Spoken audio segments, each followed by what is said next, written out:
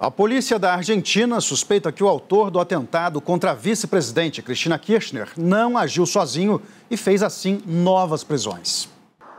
Um dos presos é Brenda Uliarte, suspeita de ter ajudado o namorado Fernando Sabag Montiel no atentado.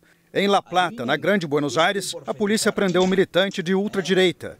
José Derman teria reivindicado o ataque e chamado Fernando de herói brasileiro.